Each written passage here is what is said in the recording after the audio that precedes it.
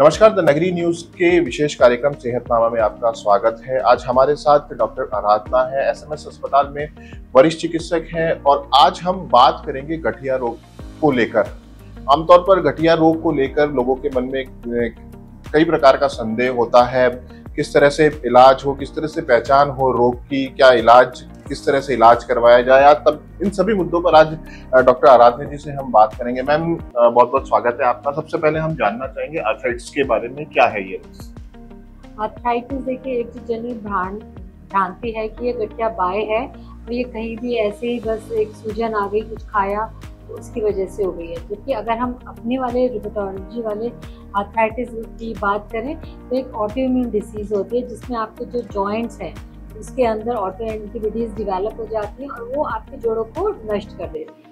और सिर्फ़ जोड़ ही नहीं, इसमें आपके शरीर का कोई सा भी भाग है, चाहे आपकी आँखें हैं, आँखों में यूवियाइटिस एपिस्टोराइटिस हो सकती है, आपके फेफड़े इसमें अफेक्टेड हो सकते हैं, आपकी किडनीज इसमें जा सकती हैं लीवर चमड़ी, आपने बहुत लोगों को देखा होगा, उनके बाल उड़ गए हैं और उनके चेहरे पे चक्करते आ गए हैं, मांसपेशियाँ हैं जिसको हम मायोसाइटिस कर, कहते हैं। तो कहने का मतलब है शरीर के हर हिस्से को जो है, इसमें अफेक्ट होता है। मैडम, आमतौर पर देखा जाता है परिवार के अंदर महिला होती है या जो भी सदस्य होता है, जब वो सुबह उठते हैं तो उनके हाथ पैरों में दर्द शुरू हो जाता है।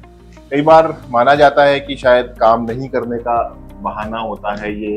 ये आमतौर पर जो बातें होती रहती है, परिवार में होती रहती है, उससे सफ़र भी करना पड़ता है उस उस सदस्य को।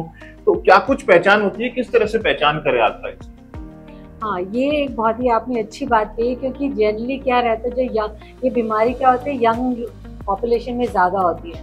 तो अगर किसी लड़की की शादी होके आई है और उसको दो तीन महीने के बाद ये बीमारी शुरू हुई है तो उसके तो सास, उसके पति से लड़ना शुरू कर देते हैं कि हमें बहुत ही निखट्टी बहू मिली है, कि सुबह उठती नहीं है, खाना बना के नहीं देती ऑफ़िस के लिए, या बाद में बच्चों का टिफ़िन नहीं होता है।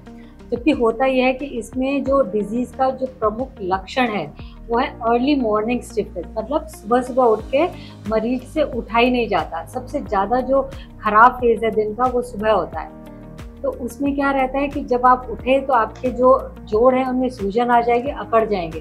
तो जैसे जैसे दिन चढ़ेगा आपकी एक्टिविटी होगी तो आपका अच्छा लगेगा। हम्म। इसी तरह एनकालोजिंग स्पॉन्डिलाइटिस में बैक एक सबसे ज़्यादा सुबह होता है। तो अगर कि, किसी के जो जवान बच्चे हैं लड़के हैं या बच्चे हैं वो नहीं इस तरह से कर पा रहे उठ पा रहे हैं तो अवेयर हो जाइए कि हो सकता है आर्थराइटिस का लक्षण हो।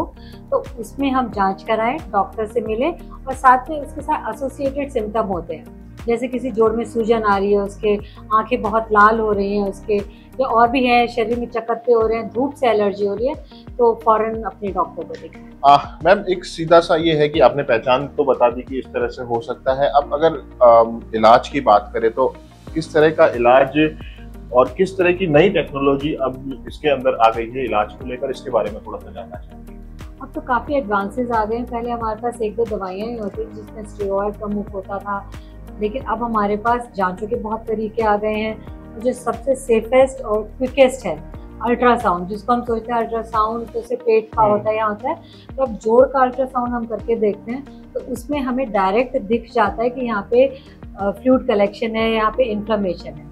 तो हम वहाँ से पानी निकाल के उसकी जाँच कर सकते हैं और बाकी तो हमारे पास पूरा पैनल है और जहाँ तक इलाज की बात है तो उसमें ओरल टैबलेट्स भी हैं, आपकी मीटोट्राइजिन सल्फासैलेजिन लेफ्टोनामाइड और अगर इनसे काम नहीं होता या इनके नुकसान ज़्यादा होते हैं तो हमारे पास जो है बायोलॉजिकल्स होते हैं, जो एक रिसर्च के थ्रू डिवेलप हुए हैं। कहने का मतलब है तो वो महँगे होते हैं, उनका एक डिसएडवांटेज ये है वो महँगे होते हैं।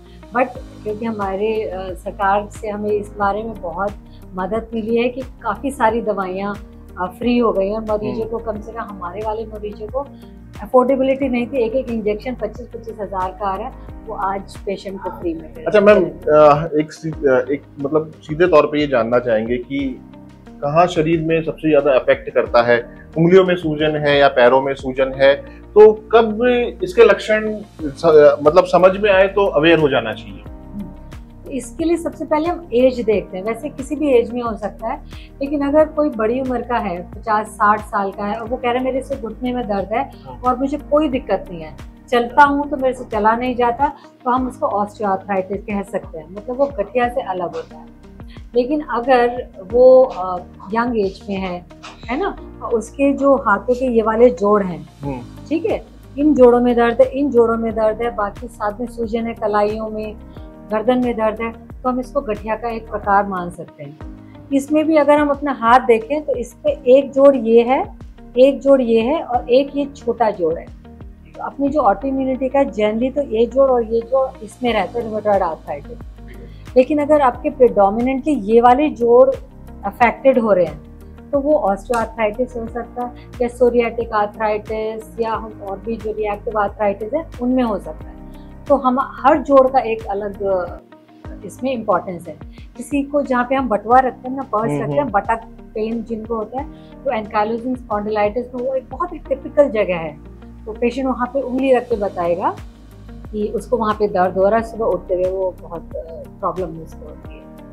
बिल्कुल, आराधना जी हमारे साथ ही घटिया रोग को लेकर हमने बात की, किस तरह के लक्षण देखने को मिलते हैं इस रोग के अंदर और बहुत सारी अब ऐसी एडवांस टेक्नोलॉजी है जिससे अब इलाज भी होने लगा है, लेकिन अवेयरनेस सबसे ज़रूरी है। अगर आप समय रहते अवेयर हो जाते हैं तो इस बीमारी का इलाज आसानी से हो सकता है। फ़िलहाल द नगरी में इतना ही, आप बने रहिए हमारे साथ।